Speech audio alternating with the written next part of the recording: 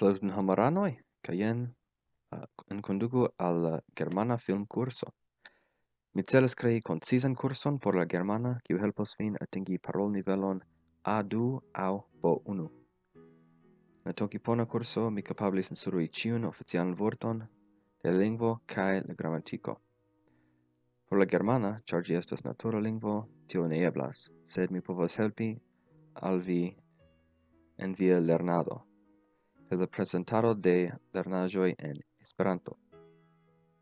Mi planas estontece fari film cursoin anca por alia lingvoi, e mi lernis la germanan por ses jaroi nun, do devus capabli instrui io.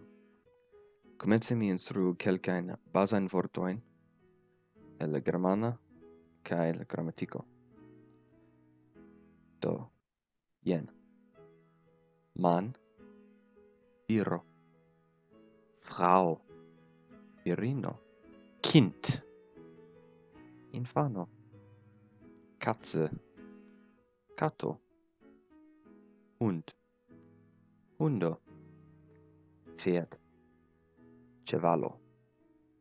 Noi iam vidis du reconeblain vortoin, hund, cae eble katze, sed io mancas. Ciu substantivo en germana havas grammatican genron.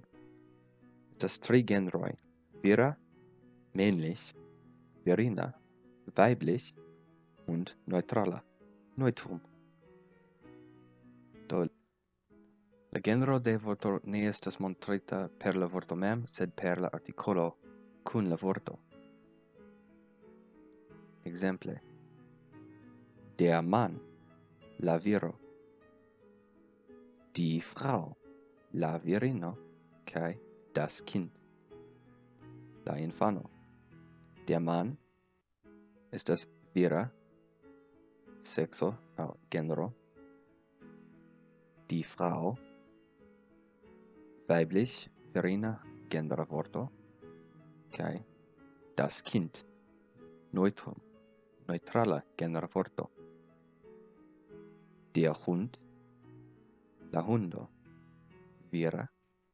Die katze. Virina. Das pferd. Neutrala. Tiu substantivo antau ancau ciam literumas per granda litero de la comenzo kia vi vidis. Do la articolo changas depende de la genero de la vorto. La germana havas definitan kai ne definitan articoloin la definitan artikolon viam jam char ĉar vi povas Esperanton. Kaj la, us, la uso essence samas, sed Esperanto kaj aliaj nacia lingvoj mancas ne definitivan artikolon. Do mi clarigu tion nun. La ne definitiva au indefinitiva au en au germane indefinitiv articoloi, ankaŭ indikas genron. Ein Mann, viro. Eine Frau, virino. Ein Kind, infano. Vi vidas la iĝan kaj neutralan samas, sed kio signifas ein Mann kaj eine Frau? Ein venas de la vorto eins, kiu signifas unu. La germana kaj aliaj lingvoj kun nedefinitivaj artikoloj kiel la angla kaj la hungara, oni emas indiki ke estas nur unu de io per la articolo. Exemple, ich sehe eine Frau. Mi vidas virinon. Lau vorte, tio estas pli mi vidas unu virino. Ich... La contrasto tie ci similes al tio inter la Cina kai Esperanto. En Esperanto oni indikas pluralon per aldono de "-io" al vortoj. Simple leono, leonoi, homo, homoi. Sed en la Cina oni ne indikas pluralon. Oni scias de contexto che temas pri unu au plurai. Au oni aldonas vorto kiu indikas pli ol unu au multai. La germana oni ciam montras ke estas unu el io per la ne definitiva articolo. Po suffice da exerzaro vi uh, comprenos la uson kai cio havos senso. La germano anco havas quar casoin, la nominativo, la genitivo, la accusativo, kai la dativo. Nominativ, accusativ, genitiv und dativ. La articoloi changas formon por esprimi la cason, cae cio di changas dependas de la genero de la vorto. Exemple, nominativo de man, la viro, che cun la ne definitiva articolo ein man, viro, au unu viro.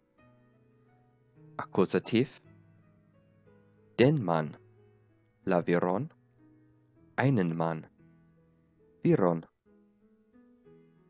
Dativ, dem man, al viro, einem man, al viro.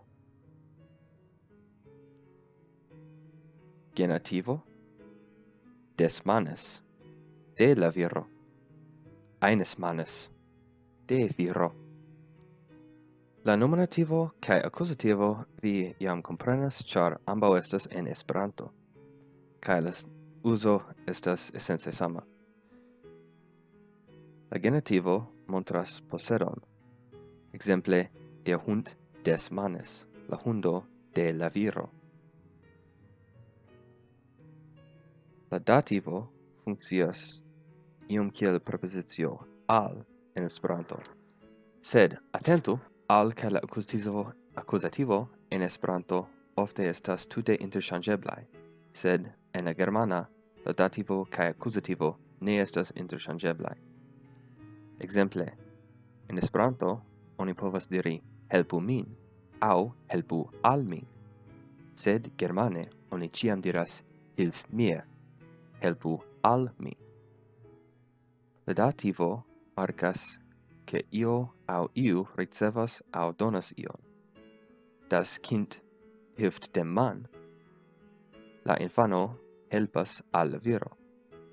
La viro ricevas helpon en tiu fraso.